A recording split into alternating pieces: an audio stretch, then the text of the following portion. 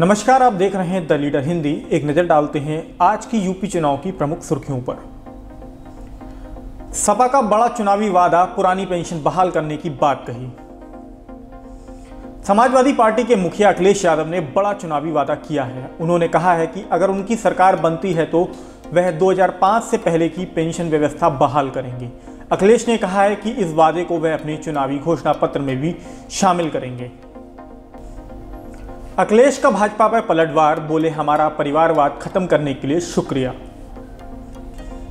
Samajwadi party के मुखिया अखिलेश यादव ने गुरुवार को भारतीय जनता पार्टी पर निशाना साधा है। अपर्णा यादव, प्रमोद गुप्ता और मुलायम सिंह परिवार के कई अन्य सदस्य भाजपा में शामिल हो गए हैं। अखिलेश ने कहा कि हम भाजपा को शुक्रिया अदा करना चाहते हैं कि वह हमारा परिवारवाद खत्म कर रहे हैं। अखिलेश ने आगे ये भी कहा कि भाजपा के लोग परिवार में लड़ाई कराने का काम करते हैं। योगी के खिलाफ चुनाव लड़ेंगे चंद्रशेखर। भीम आर्मी और आज़ाद समाज पार्टी, काशीराम के राष्ट्रीय अध्यक्ष चंद्रशेखर आज़ाद ने गोरखपुर सदर सीट से सीएम योगी के सामने चुनाव लड़ने का फैसला किया है।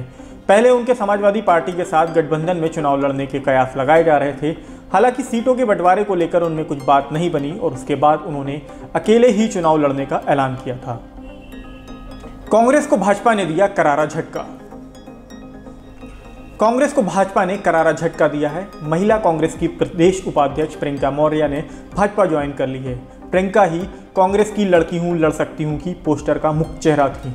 उन्होंने कांग्रेस पर पैसे लेकर टिकट देने का आरोप लगाया था। वहीं भाजपा में शामिल होने के बाद रायबरेली सदर सीट से विधायक अदिति सिंह ने कांग्रेस की प्राथमिक सदस्यता से इस्तीफा दे दिया है। अदिति सिंह ने रायबरेली की सदर सीट से विधायक रही हैं और अब वह भाजपा में शामिल हो चुकी हैं। कांग्रेस उम्मीदवारों की दूसरी सूची जारी। यूपी चुनाव के लिए कांग्रेस की दूसरी लिस्ट जारी हो गई है। लिस्ट में इकतालीस उम्मीदवारों के नाम हैं। इनमें से 16 महिलाएँ हैं। इसमें भाजपा नेत्री व हरियाणवी सिंगर सपना चौधरी की बाउंसर रही। पूनम पंडित को भी बुलंदशहर के सियाना विधानसभा सीट से टिकट मिला है।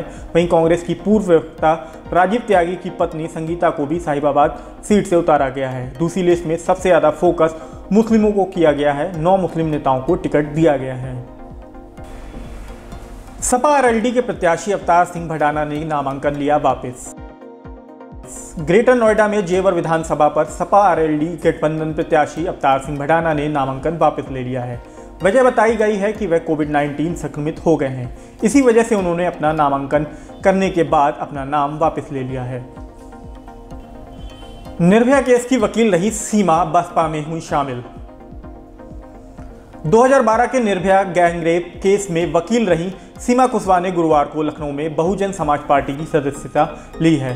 बसपा के राष्ट्रीय महासचिव सतीश चंद्र मिश्रा की मौजूदगी में उन्हें बसपा की सदस्यता दिलाई गई है। फ़िलहाल आज की चुनावी अपडेट्स में इतना ही। अन्य अपडेट्स के लिए देखते रहिए द लीडर हिंदी। शुक्रिया।